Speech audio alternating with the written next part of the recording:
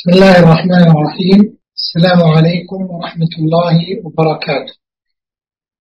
إن الحمد لله نحمده ونستعينه ونستغفره إليه ونعوذ بالله من شرور أنفسنا ومن سيئات أعمالنا. من يهده الله فلا مضل له من يضلل فلا هادي له. وأشهد أن لا إله إلا الله وحده لا شريك له. أشهد أن محمدا عبده ورسوله صلى الله وسلم وبارك عليه وعلى آله وأصحابه من تبعهم بإحسان إلى يوم الدين. سبحانك اللهم ربنا لا علم لنا إلا ما علمتنا إنك أنت العليم الحكيم. رب علمنا ما ينفعنا وانفعنا بما علمتنا علما اللهم يا معلم إبراهيم علمنا ويا مفهم سليمان فهمنا. اللهم ارزقنا جميعا العلم النافع والعمل الصالح والتوفيق لما تحبه وترضاه. أما بعد فيا أيها الإخوة المسلمون في رحاب بيت الله الحرام في مسجد رسول الله صلى الله عليه وسلم أيها الإخوة الحجاج نهنئكم بسلامة الوصول وحصول المأمول بمن الله وكرمه. حللتم أهلا ووطئتم سهلا. نشكر الله عز وجل على ما شرفنا به من خدمة الحرمين الشريفين والعمل بخدمة ضيوف الرحمن من الحجاج والقاصدين والمعتمرين والزائرين. ما خص الله في هذه البلاد المباركة المملكة العربية السعودية من هذا الشرف المؤثل والمجد المؤصل. فلله الحمد والمنة. ونسأل الله أن يجزي ولاة أمرنا خير الجزاء على جهودهم العظيمة خدمة الحرمين الشريفين خدمة ضيوف الرحمن. كما نسأله سبحانه لعلمائنا. عظم المثوبة والأجر.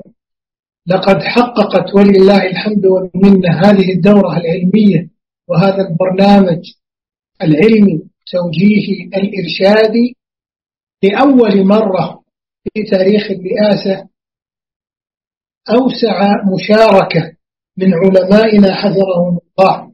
فشكر الله جهودهم تعليمهم وتعاونهم مع الرئاسة في تفعيل هذه البرامج العلمية والإرشادية والتوجيهية.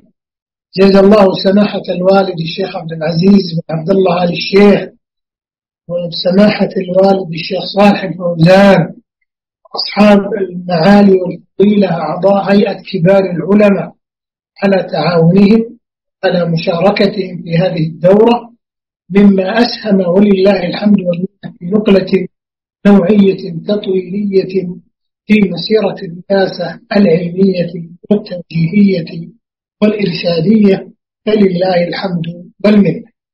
هذا الدرس في تفسير القرآن العظيم من خلال تفسير الشيخ بن سعدي رحمه الله. وكما تلاحظون مع قدوم حجاج بيت الله الحرام يحذر أن يكون الحديث حول تفسير آيات الحج في سورة البقرة. الآيات 196 إلى 203 وكذلك الآيات لسورة الحج من قوله تعالى إن الذين كفروا ويصدون عن سبيل الله والمسجد الحرام الذي جعلناه للناس سواء العاكف فيه والباب. من يرد فيه بإلحاد بظلم يذقه من عذاب أليم. إلى قوله سبحانه في استمرار هذه الآيات في مسيرة الحج إلى قوله لتكبروا الله على ما هداكم بشر المحسنين. نسمع ما ذكره المصنف الشيخ بن سعدي رحمه الله في تفسير آيات وأتم الحج والعمرة لله. تفضل يا شيخ عبد الله مأجورا مشكورا. بسم الله الرحمن الرحيم. الحمد لله رب العالمين.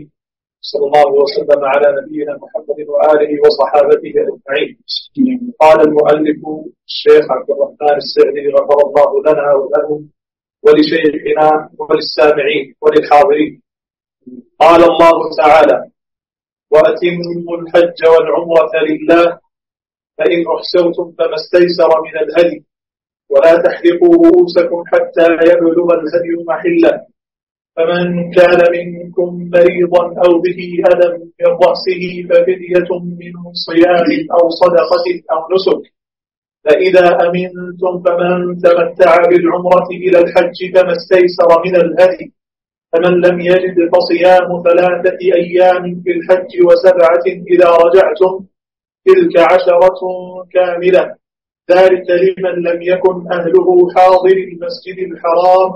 واتقوا الله واعلموا أن الله شديد العقاب. الحج أشهر معلومات. فمن فرض فيهن الحج فلا رفث ولا فسوق ولا جدال في الحج. وما تفعلوا من خير يعلمه الله وتزودوا فإن خير الزاد التقوى واتقوا يا أولي الألباب قال المصنف. قال المصنف رحمه الله وأتم الحج والعمرة لله. الآية يستدل بقوله وأتم يستدل بقوله وأتم الحج والعمرة على أمور. أحدها وجوب الحج والعمرة وفرضيتهما الثاني وجوب, وجوب إتمامهما بأركانهما وواجباتهما التي قد دل عليها فعل النبي صلى الله عليه وسلم في قوله خذوا عني مناسككم. الثالث أن فيه حجة لمن قال بوجوب العمرة. الرابع أن الحج والعمرة يجب إتمامهما بالشروع فيهما.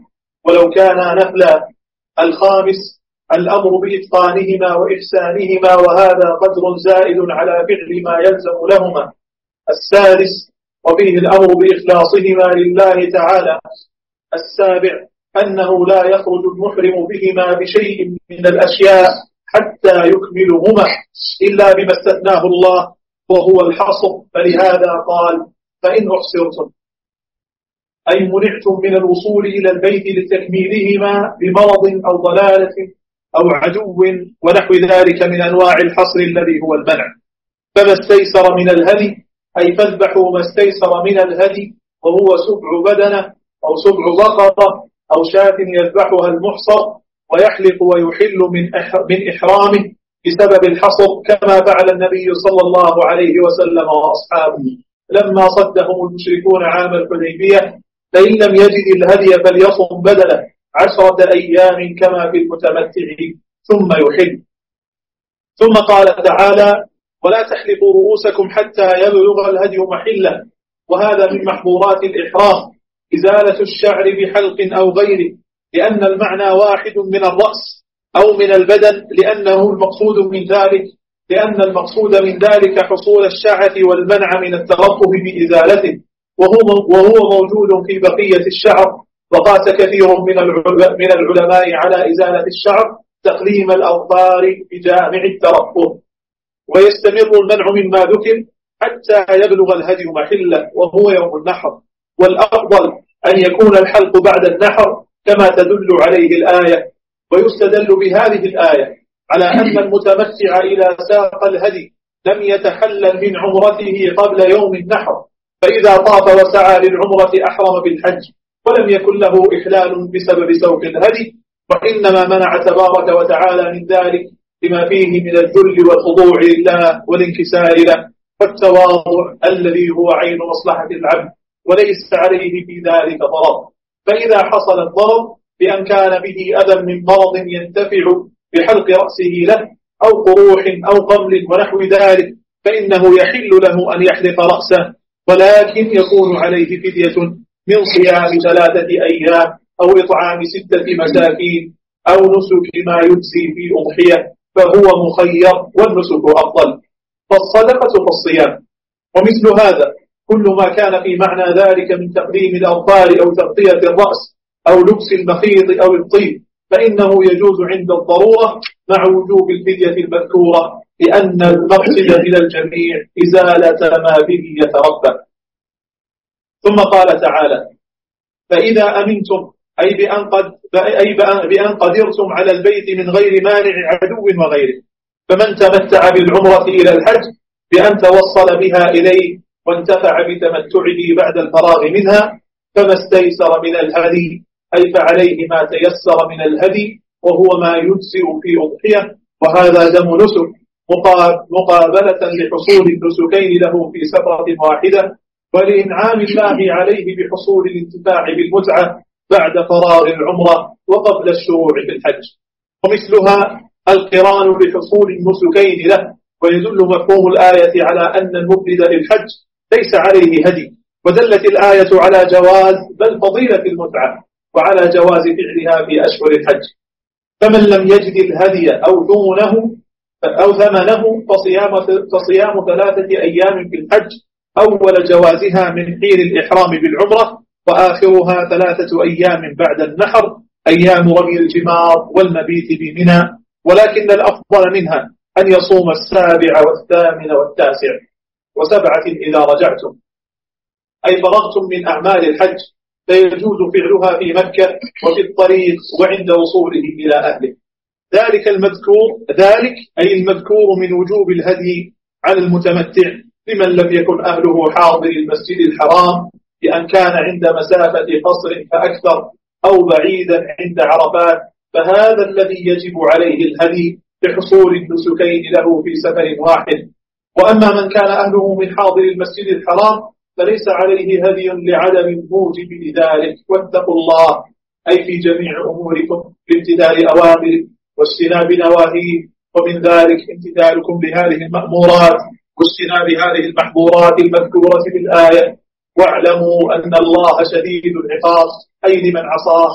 وهذا هو الموجب الموجب الموجب للتقوى فإن من خاف عقاب الله إن كف عما يوجب العقاب كما أن من رجا ثواب الله عمل لما يوصله إلى الثواب.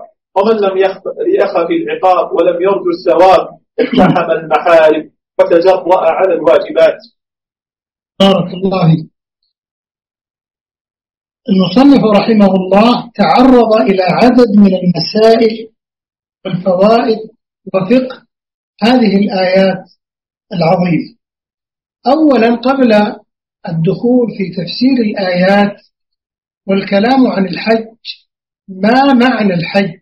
ما المراد به في اللغة؟ ما المراد به في الشرع أو في اصطلاح الفقهاء رحمهم الله؟ الحج في اللغة هو القصد. الحج في اللغة القصد. ولا آمين البيت الحرام أي قاصدينه. وشرعا قصد بيت الله الحرام في أوقات مخصوصة لأعمال مخصوصة. بنية مخصوصة. قصد بيت الله الحرام تأكيد على النية في مشروعية الحج وهكذا في كل الأعمال. إنما الأعمال بالنيات. قصد بيت الله الحرام في زمن مخصوص أو في أزمنة مخصوصة أو في أوقات مخصوصة. التي هي أشهر الحج إلى بيت الله الحرام. وسيأتينا بعد تفسير هذه الآيات قول الله عز وجل الحج أشهر معلومات. أن تقصد بيت الله الحرام في هذه الأشهر المعلومات اللي هي شوال وذي القعدة وذي الحجة على خلاف بين الفقهاء سيردنا تفصيله إن شاء الله. والقيد الثاني لأعمال مخصوصة.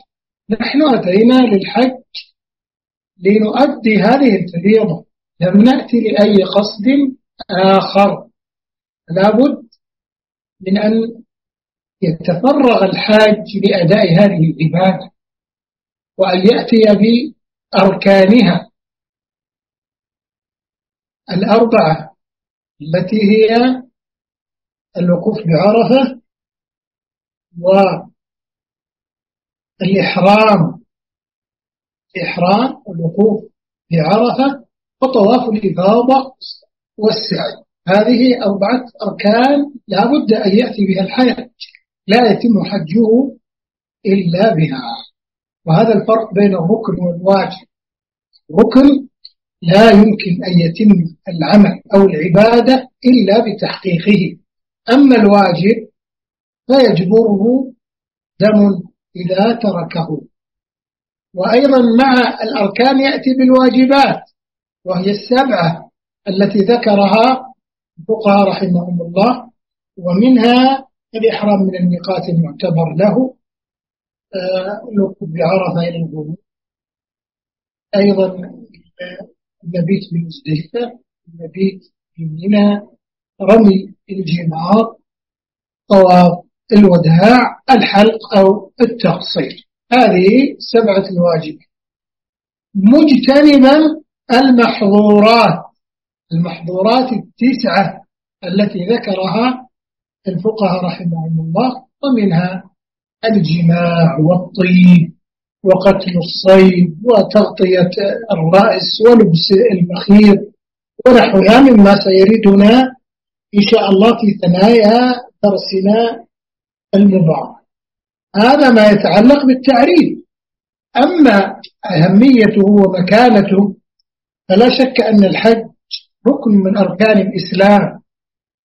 العظام ومبانيه الكبار وهو واجب وركن من أركان هذا الدين بدلالة الكتاب والسنة والإجماع يعني الأصل في وجوب الحج وركنيته القرآن الكريم. ومنها الآية التي ذكرها المصنف رحمه الله وأتم الحج والعمرة لله. ومنها آية آل عمران السابعة والتسعين ولله على الناس حج البيت من استطاع إليه سبيلا. لاحظ التعبير في تقديم المعمول على العامل. وليس ولله حج البيت من استطاع إليه سبيلا على الناس. أو ولله حج البيت على الناس من استطاع إليه سبيلا. فقدم على للتأكيد على ركنيته ووجوبه. ومن السنة حديث ابن عمر رضي الله عنهما في الصحيحين بني الإسلام على خمس فذكر منها وحج البيت.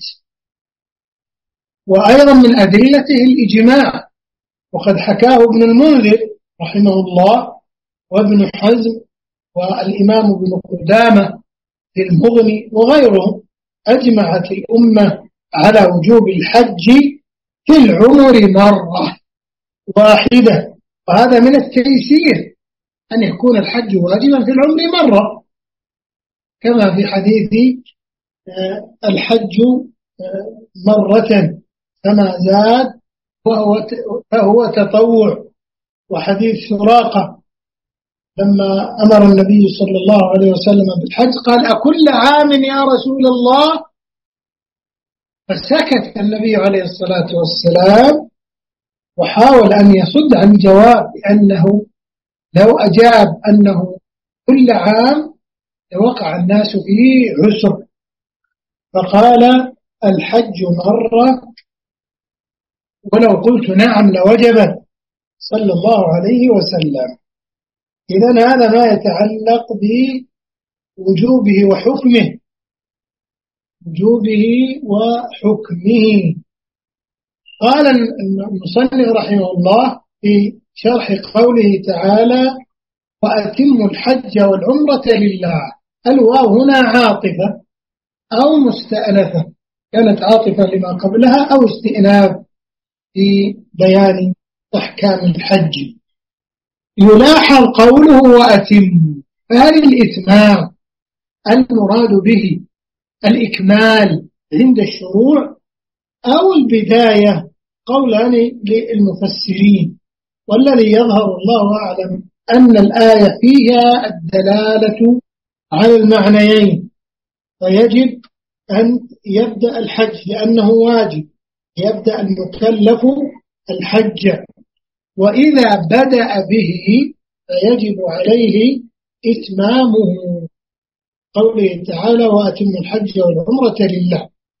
ولهذا من دخل في النسك حجا أو عمرة فلا يجوز له أن يخرج من الإحرام ويتلبس في المحظورات إلا بعد إتمام المناسك حجا كان أو عمرة.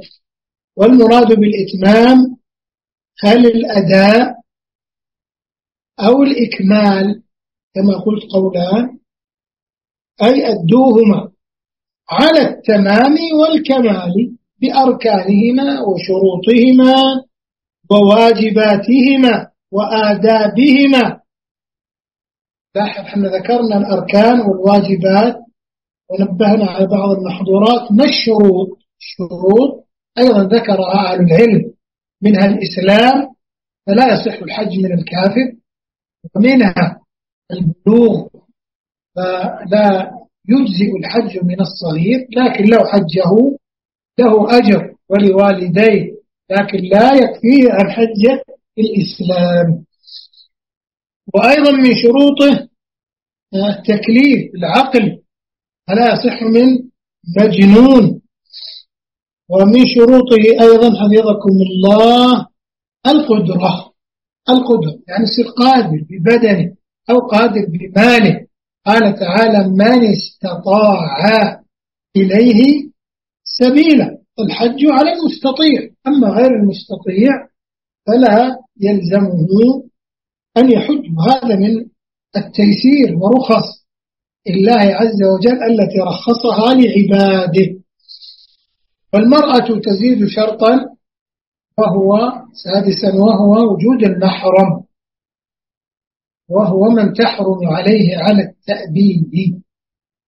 لنسب أو سبب مباح كالأبناء والمصاهرة ونحو ذلك. قال تعالى لله. يفيد الإخلاص وما أمروا إلا ليعبدوا الله مخلصين. له الدين. ما جاء للحج؟ يحمل شعارات ما جاء للحج؟ شعارات أغراض دنيوية كالتجارة والاكتساب وإن كان هذا جائزا.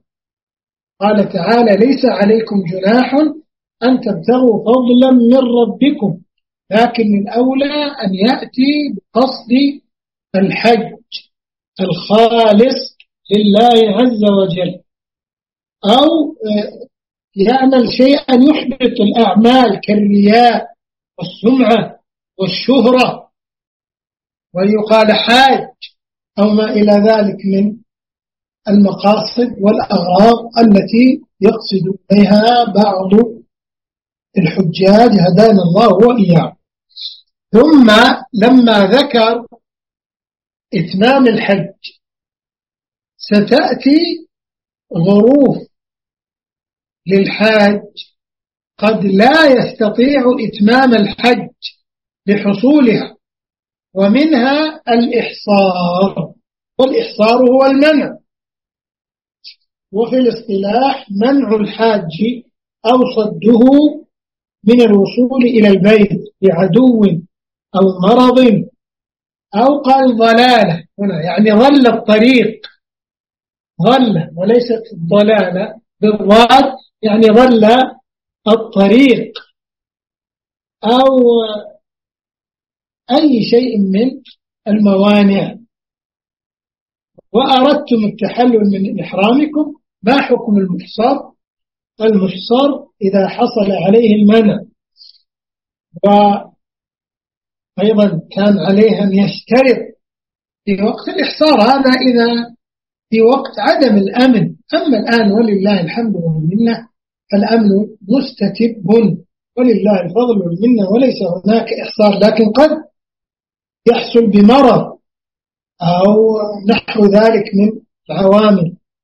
إذا حصل ولم يكن اشترط في حديث ضباعة بنت الزبير أجدني أريد الحج وأجدني وجعة قال حجي واشترط. إن لك على ربك فاستثنيت. هل هل الإحصاء هل الشرط أو الاشتراط آه، مسنون مطلقة أو مسنون عند الحاجة. الذي يظهر أنه سنة مطلق ويتأكد عند الحاجة. ويتأكد عند الحاجة الإنسان لا يدري ما يعرض له. فما استيسر؟ أي فعليكم ذبح ما تيسر وسهل عليكم. هل ما استيسر هذه على العموم المطلق؟ يعني لو يذبح دجاجة ولا يذبح له أرنب لا. فما استيسر؟ يعني تيسر لكم من هدي بهيمة الأنعام الإبل بدن والبقر والشاة. اذبحوها حيث أحصرتم في الحل أو الحرم. ودليله حديث آه، وعمل النبي صلى الله عليه وسلم مع الصحابة يوم الحديبية. قال فما استيسر من الهدي. ما المراد بالهدي؟ الهدي هو ما يهدى إلى بيت الله الحرام.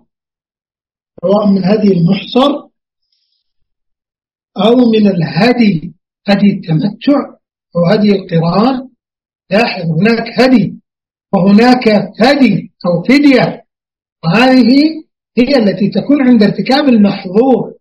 الجماع واستعمال الطيب ولبس المخيط وغير ذلك من المحظورات. الهدي في عندنا هدي في عندنا فدية في عندنا أضحية أيضا ما يذبح يوم العيد للحجاج وغير الحجاج حتى الآفاقيين لأن الأضحية سنة مطلقة. وفيها أيضا العقيقة. العقيقة هذه ذبيحة المولود. وفيه أنواع أخرى ذكرها الفقهاء رحمهم الله لكن هذه الأربعة أشهرها. نعم. أي من حصل منه أنه أحصل فعليه الهدي. عليه الهدي ثم قال ولا تحلقوا رؤوسكم حتى يبلغ الهدي محله.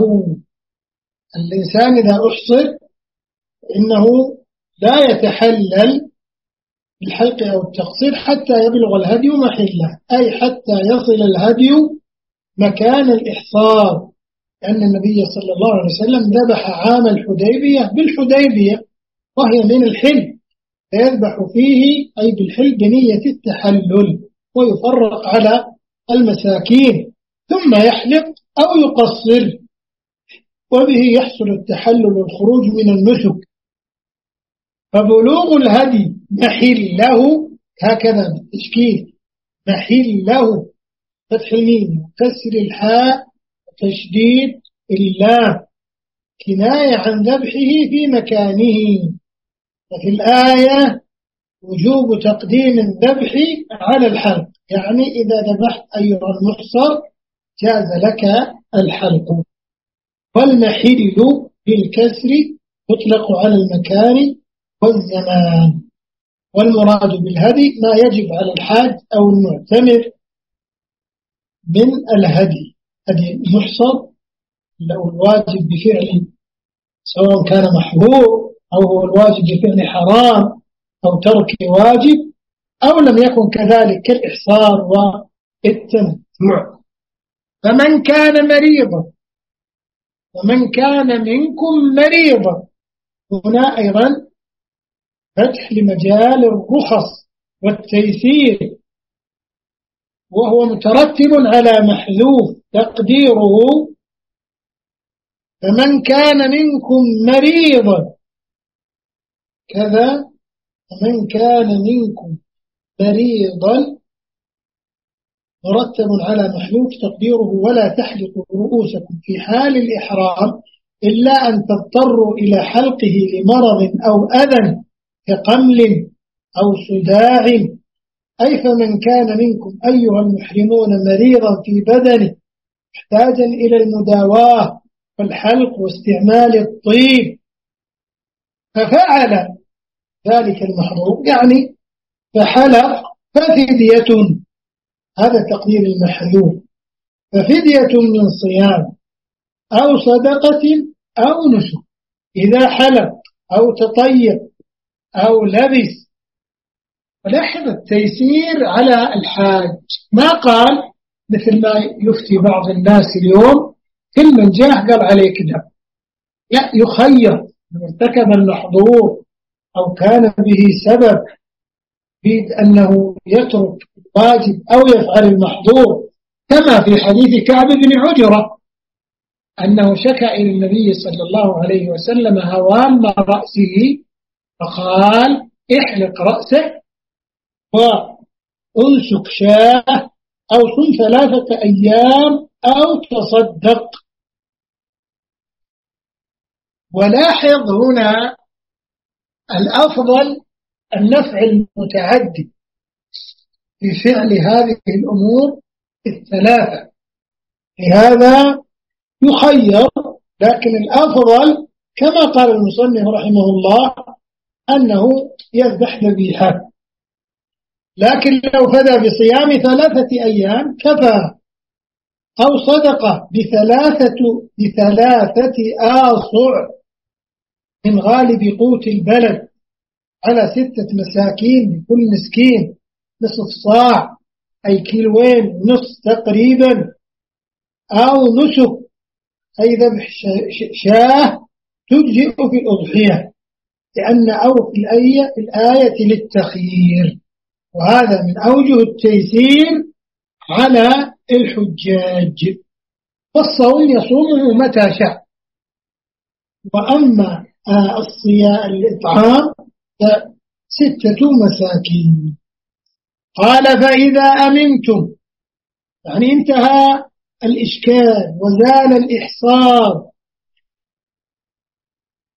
فإن كنتم آمنتم يعني آمنين من العدو بعدما وقعتم في الإحصار أو كنتم آمنين من أول الأمر فمن تمتع بالعمرة إلى الحج أي هنا تحدث القرآن الكريم عن الأنساك.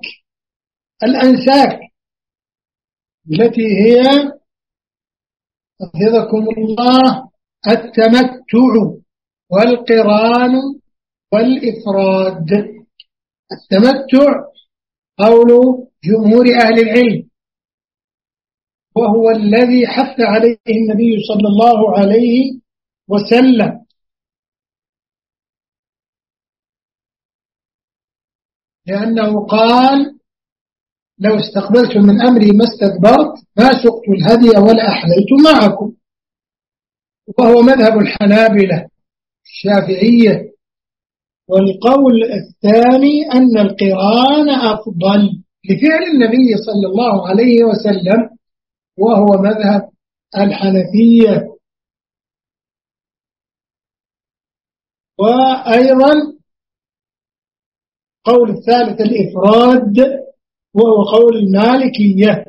وهذه الأقوال كلها معتبرة وكلها سائرة ولله الحمد والمنة. لكن أفضلها الإنساك التمتع أفضل الإنساك التمتع. فأفضل الإنساك فالتمتع. فقران فإفراد فلتسمع.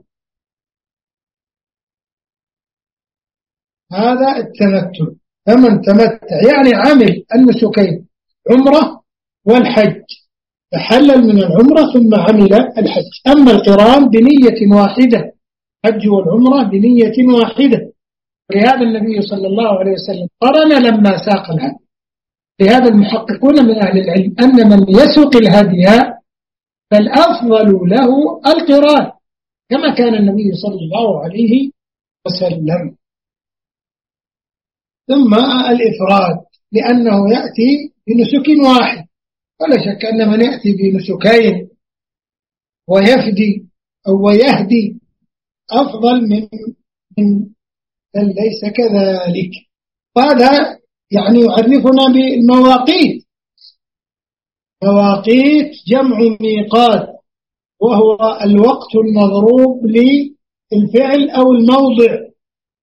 وقد استمر الوقت للمكان. ومنه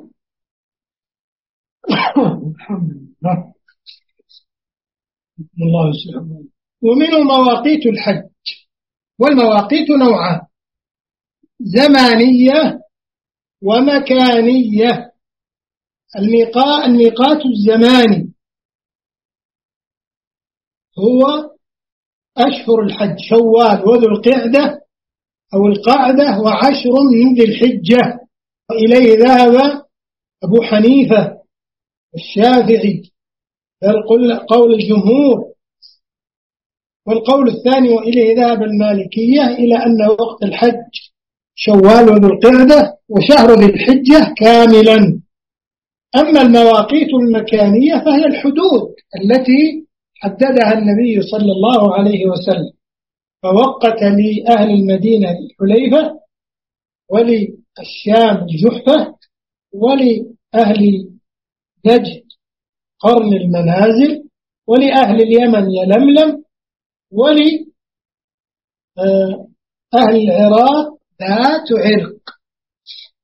عرق العراق يلملم عرق العراق يلملم اليمن. ومن ذي الحليفة يحرم المدني والشام جحفة إن مررت بها. ولأهل نجد قرن فاستبني وهذه المواقيت معروفة اليوم في حدود مكة على حدودها المتعددة شمالها وجنوبها وشرقها وغربها. نعم. قال المصنف رحمه الله بعد فمن تمتع بالعمرة إلى الحج فما استيسر من الهدي. ما دليله وجوبه على القارئ؟ فعل النبي صلى الله عليه وسلم. فمن لم يجد الهدي فإن عليه أن يصوم ثلاثة أيام في الحج. يعني قبل الإحرام بالحج. أي في أيام اشتغاله في أعمال الحج. له أن يصوم. متى ما وصل أو في أول أيام للحجة والأفضل أن يصومها قبل يوم عرفة ولا يجوز صيامها يوم النحر وأيام التشريق على قول الجمهور لأن يوم العيد لا يجوز صيامه وأيام التشريق أيام أكل وشرب. وذكر لله عز وجل قال أهل العلم إلا لمن لم يجد الهدي كما في حديث عائشة رضي الله عنها.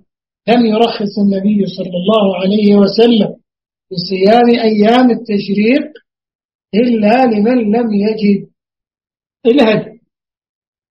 ثم قال وسبعة إذا رجعتم يعني إذا رجعتم إلى بلادكم إذا فرغتم من الحج ورجعتم إلى أهلكم فلا بأس لكن لو صامها قبل أو صامها بعد كلها فالأمر في ذلك واسع. تلك عشرة كاملة في الثواب والأجر. مقامها مقام الهدي. وهذا الحكم لمن لم يكن أهله حاضر المسجد الحرام يعني وجوب الهدي أو الصيام. لمن لم يكن أهله حاضر المسجد الحرام. بأن يكون دون مسافة قصر من الحرم. والمراد بالأهل الزوجة والأولاد الذين هم تحت رعايته دون الآباء والإخوة. هذا المنطوق.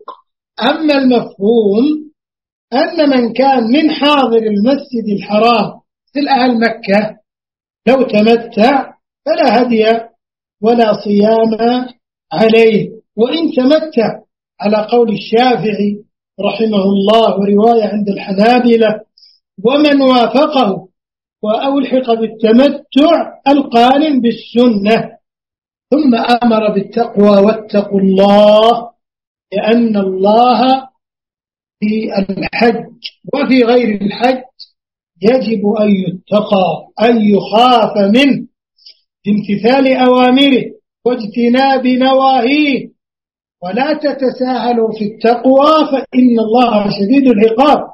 واعلموا أن الله شديد العقاب لمن خالف أمره وتهاون بحدوده وارتكب مناهيه ثم قال تعالى الحج أشهر معلومات اقرأ. كلام المصنف رحمه الله. الحج قال المصنف رحمه الله الحج أشهر معلومات. عظيم. ومن فرض فيهن الحج فلا رفث ولا فسوق ولا جدال في الحج. يخبر تعالى أن الحج واقع في أشهر المعلومات عند المخاطبين مشهورات بحيث لا تحتاج إلى تخصيص كما احتاج الصيام إلى تعيين شهره وكما بين تعالى أوقات الصلوات الخمس. وأما الحج فقد كان من ملة إبراهيم عليه السلام التي لم تزل مستمرة في ذريته معروفة بينهم. والمراد بالأشهر المعلومات عند الجمهور شوال وذو القعدة وعشر من ذي الحجة. نعم. فهي التي فيها الإحرام بالحج غالبا فمن فرض فيهن الحج أي أحرم به لأن الشروع فيه يصيره فرضا. ولو كان نفلا واستدل بها واستدل بهذه الآية الشافعي ومن تابعه على أنه لا يجوز الإحرام بالحج قبل أشهره. قلت لو قيل فيها دلالة لقول الجمهور بصحة الإحرام بالحج قبل أشهره لكان قريبا. فإن قوله فمن فرض فيهن الحج دليل على أن الفرض قد يقع في الأشهر المذكورة وقد لا يقع فيها وإلا لم يقيد وقوله فلا رفث ولا فسوق ولا جدال في الحج أي يجب أن تعظموا الإحرام بالحج وخصوصا الواقع في أشهره وتصونوه عن كل ما يفسده أو ينقصه من الرفث وهو الجماع ومقدماته ومقدماته الفعلية والقولية خصوصا عند النساء بحضرتهن. والفسوق وهو جميع المعاصي ومنها محظورات الإحرام والجدال وهو الممارات والمنازعة والمخاصمة. لكونها تثير الشر وتوقع العداوة والمقصود من الحج الذل والانكسار لله. والتقرب والتقرب إليه بما أمكن من القربات. والتنزه عن مقاربة السيئات. فإنه بذلك يكون مبرورا. والمبرور ليس له جزاء إلا الجنة. وهذه الأشياء وإن كانت ممنوعة في كل مكان وزمان فإنه يتغلظ المنع عنها في الحج واعلم أنه لا يتم التقرب إلى الله بترك المعاصي حتى يفعل الأوامر. ولهذا قال تعالى وما تفعلوا من خير يعلمه الله أتى بمن التنصيص منه. وما تفعلوا من خير يعلمه الله أتى بمن بالتنصيص على العموم فكل خير وقربة وعبادة داخل في ذلك. أي فإن الله به عليم وهذا يتضمن غاية الحث على أفعال الخير خصوصا في تلك البقاع الشريفة والحرمات المنيفة فإنه ينبغي تدارك ما أمكن تداركه فيها من صلاة وصيام وصدقة وطواف وإحسان قولي وفعلي. ثم أمر تعالى بالتزود لهذا السفر المبارك فإن التزود فيه الاستغناء عن المخلوقين والكف عن أموالهم. سؤالا واستشرافا وفي الإكثار منه نفع وإعانة للمسافرين وزيادة قربة لرب العالمين وهذا الزاد الذي المراد منه إقامة الدنيا بلغة ومتاع وأما الزاد الحقيقي المستمر نفعه لصاحبه في دنياه وآخر وآخرته فهو زاد التقوى الذي هو زاد إلى دار القرار. وهو الموصل لأكمل لذة وأجل نعيم دائما أبدا. ومن ترك هذا الزاد فهو المنقطع فهو المنقطع به الذي هو عرض عرضة لكل شر وممنوع من الوصول إلى دار المتقين. فهذا مدح للتقوى. ثم أمر بها أولي الألباب فقال فاتقوني يا أولي الألباب. أي يا أهل العقول الرزينة اتقوا ربكم الذي تقواه أعظم ما تأمر به العقول وتركها دليل على الجهل وفساد الرأي. لما أمر تعالى بالتقوى أخبر تعالى أن ابتغاء فضل الله بالتكسب في مواسم في مواسم الحج وغيره. ليس فيه حرج إذا لم يشغل عما يجب. إذا كان المقصود هو الحج وكان الكسب حلالا منسوبا إلى فضل الله لا منسوبا إلى حرف العبد. والوقوف مع السبب ونسيان المسبب فإن هذا هو الحرج بعينه.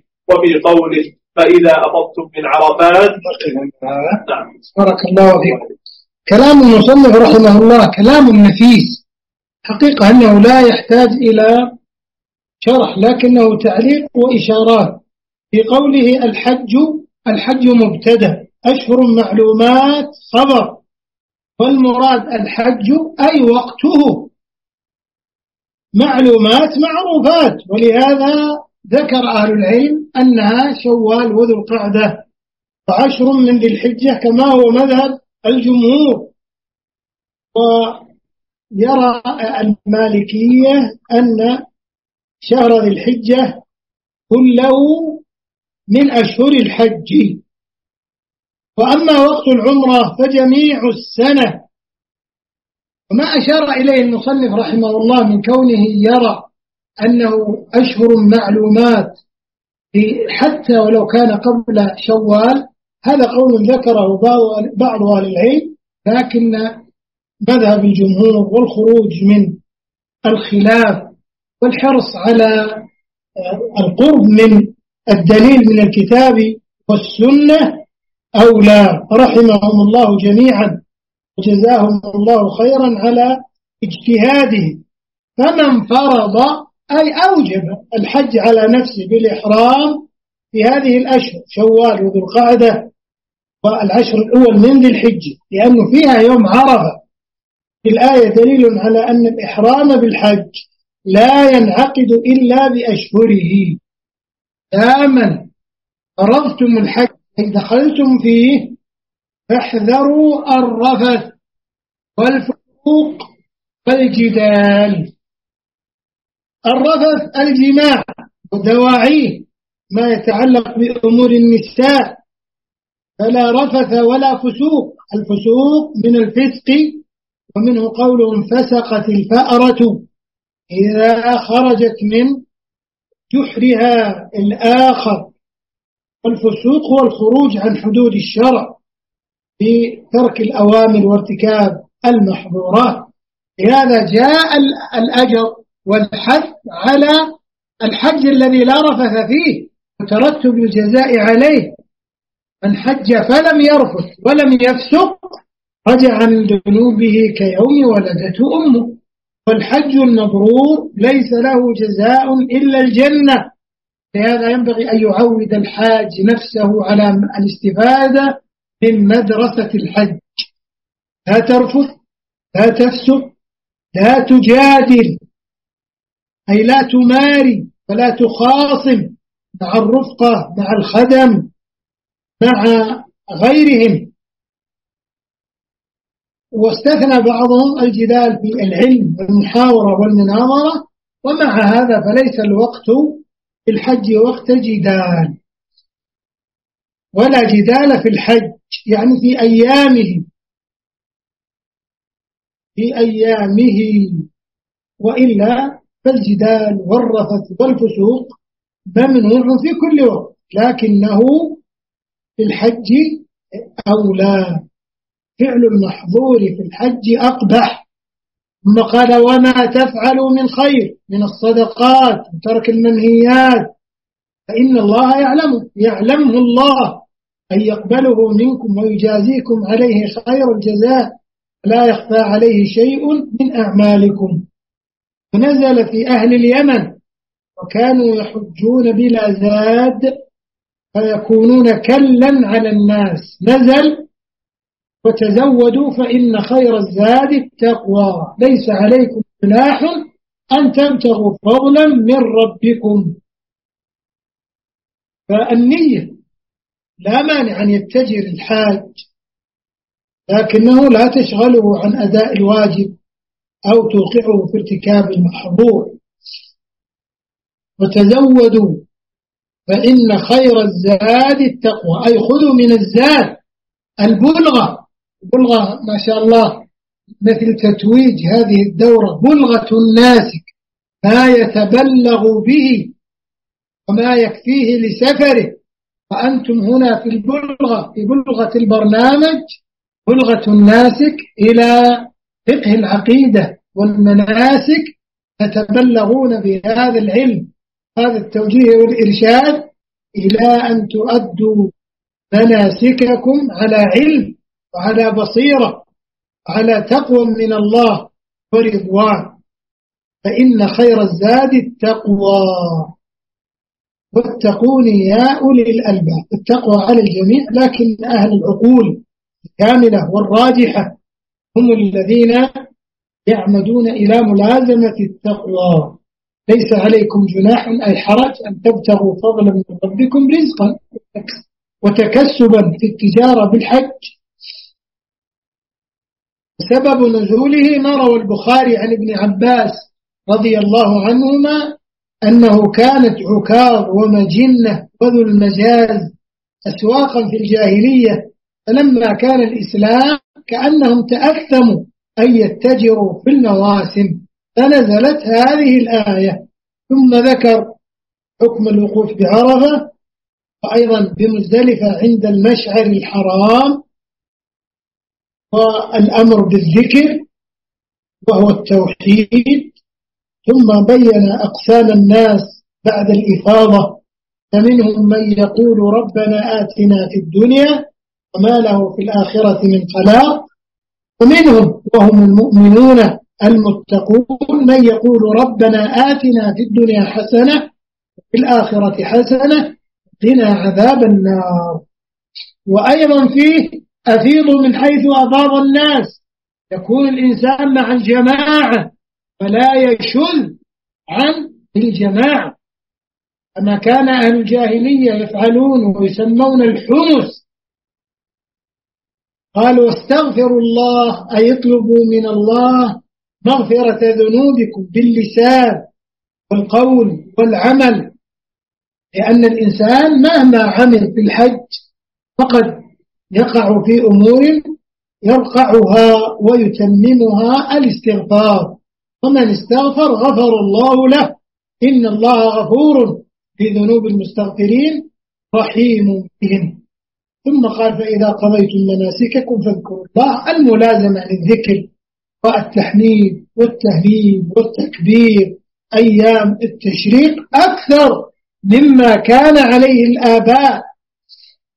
بل يكثر من توحيد الله وذكره سبحانه أولئك لهم نصيب مما كسبوا والله سريع الحساب. فهذه أيام التشريق. من تعجل في يوم عشر واثنى عشر ومن تأخر يزيد اليوم الثالث عشر. ويقضيها في الذكر كما في البخاري عند ابن عن ابن عمر رضي الله عنهما أنه كان صلى الله عليه وسلم يكبر في تلك الأيام بمنى ثم ذكر التعجل والتأخر وأنهما خياران للحاج. كلاهما من أتى به فلا إثم عليه لكن التأخر أفضل لمن اتقى لأنه مزيد بقاء في هذه المشاعر المقدسة وملازمة للذكر واجتناب للمحظورات وإتيان للمأمورات. واتقوا الله لاحظوا الأمر بالتقوى وكثرته في آيات الحج. واعلموا أنكم إليه تحشرون التذكير بالآخرة. تجمعون وتحشرون وتبعثون من قبوركم فيجازي كلا بعمله. إن خيرا فخير وإن شرا فشر.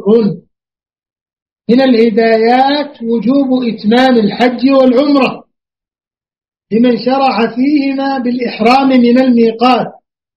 بيان حكم الإحصار وهو أنه يذبح شاة ثم يتحلل. ثالثا بيان الفدية وأنه يخير الناسك بين الصيام والإطعام والذبيحة.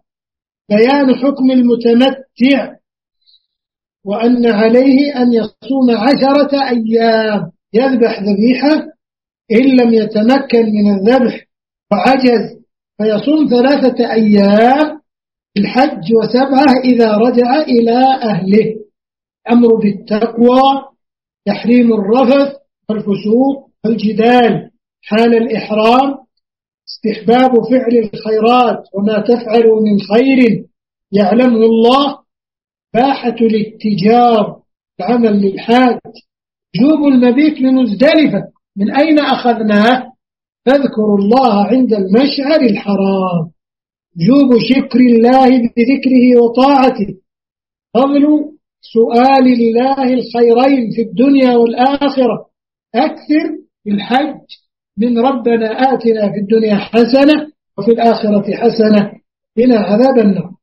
جوب المبيت بمنى ثلاثة أيام.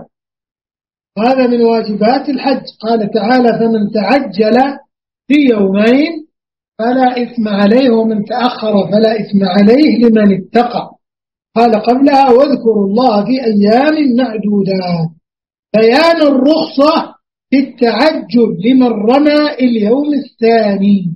ترى الجمار يوم الثاني بعد الزوال هو يوم 12 ما هو بحدا ما هو بعشرة وحدة عشر لا عشرة وحدة عشر واثنى عشر والتأخر يبقى ثلاثة عشر.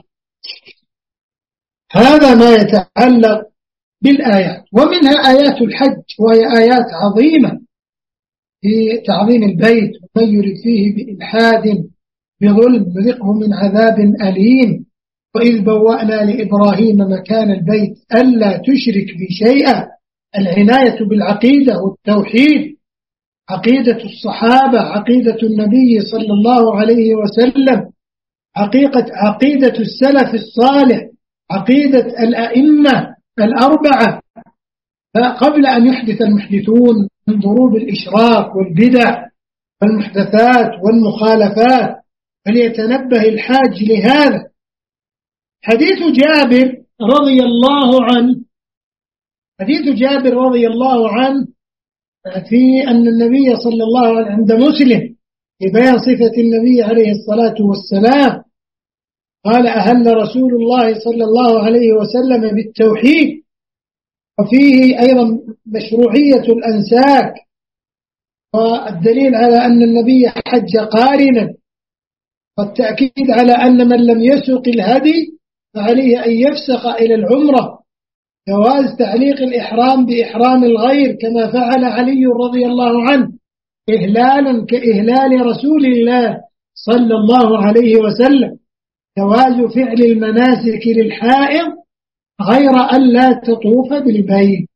جواز الإتيان بالعمرة بعد الحج كما أرشد النبي صلى الله عليه وسلم عائشة أن الإحرام بالعمرة يجب أن يكون من أدنى الحل من التنعيم من الجعرانة من عرفة من الشميسي فلا تكون من الحرم كحديث بحديث عائشة رضي الله عنها حينما أمر النبي صلى الله عليه وسلم أخاها عبد الرحمن أن يخرج بها إلى التنعيم فأحرمت من هنا.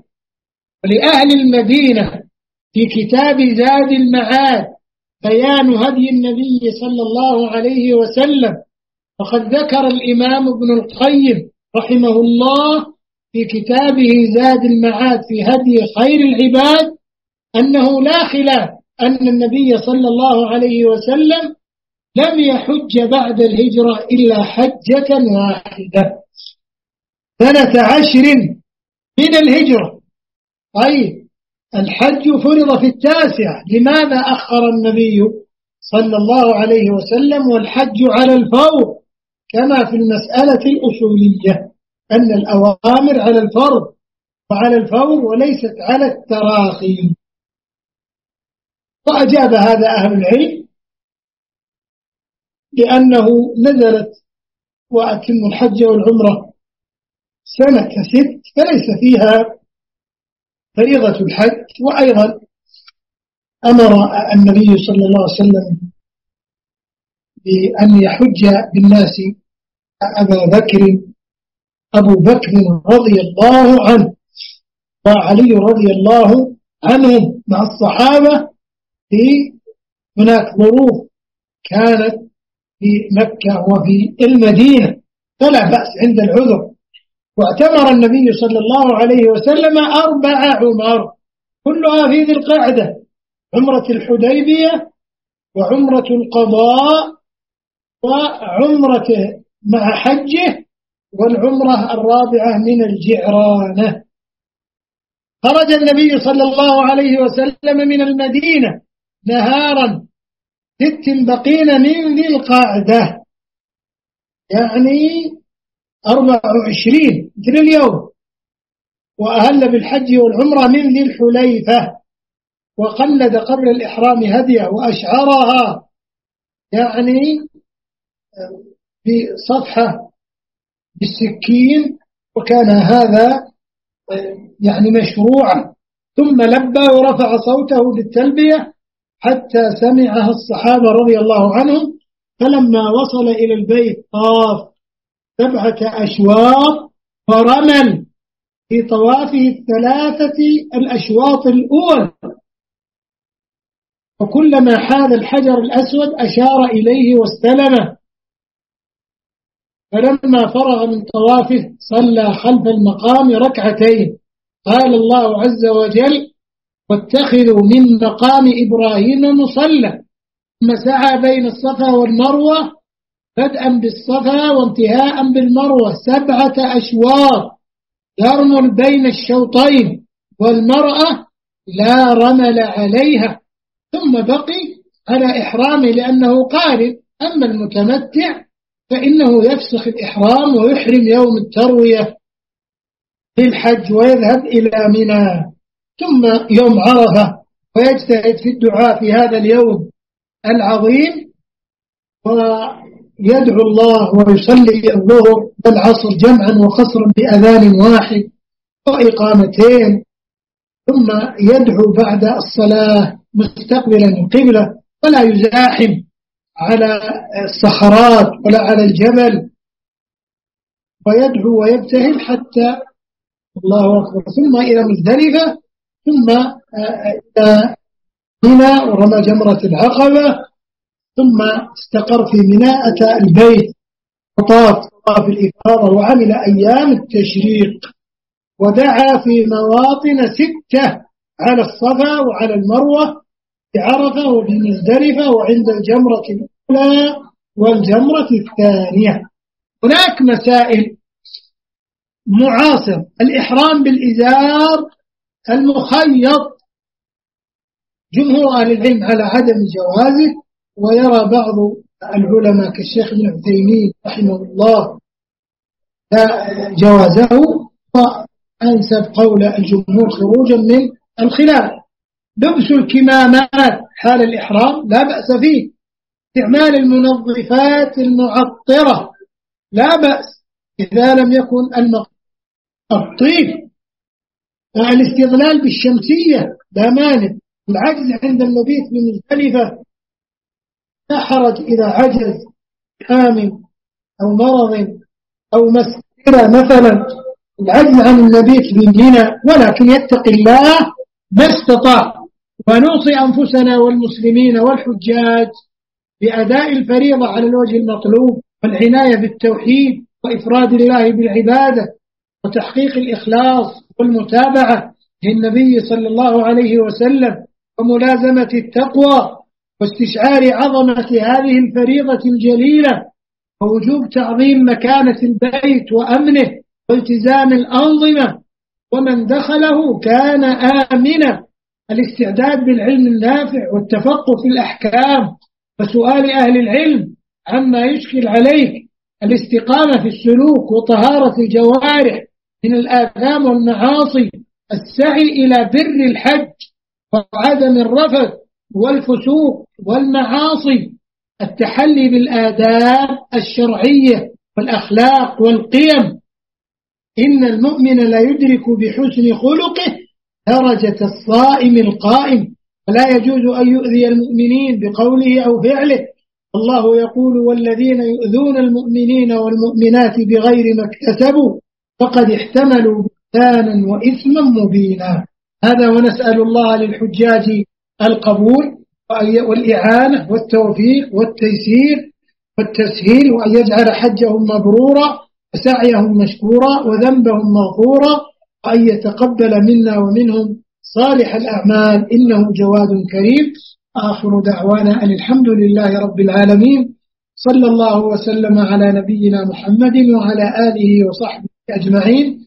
السلام عليكم ورحمة الله وبركاته.